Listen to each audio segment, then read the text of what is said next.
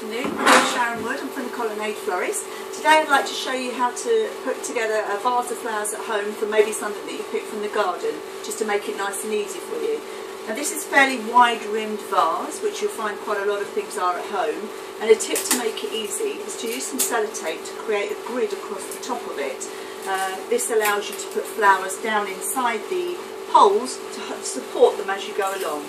So I'm just literally doing a crisscross across the top there to give you an idea there. Uh, the other nice thing that we do quite often if we have just a plain tank is to put food colouring in the water. I'm just literally putting two drops in there and you'll see as that goes along that looks beautiful as we put the uh, flowers in. The foliage that I've got here is shop bought foliage but can use anything that you uh, want from the garden. Um, Bear in mind that when you're putting the flowers and foliage in, you want to take the leaves off from the bottom before you put them into the water because that will actually reduce the uh, bacteria in the water and make the flowers last longer.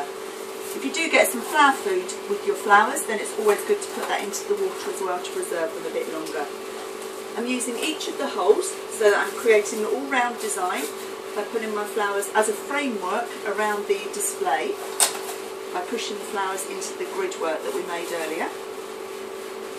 So I've got eucalyptus in here and a pittosporum, but like I say, you can use anything from your garden. And then I'm going to basically do roses from the from again the garden or a florist shop. If you cut them all to one length and you put them around into your design, in between the foliage, it will create a beautiful design as we go along. Alright, those through here. Nice and easy for you to do at home.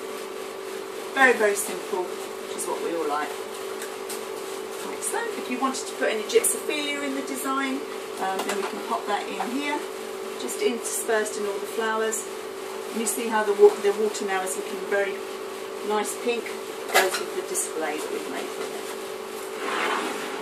There we go, and just put a little bit of gypsophilia in there. And there we are. All finished. Beautiful toady design. Thank you.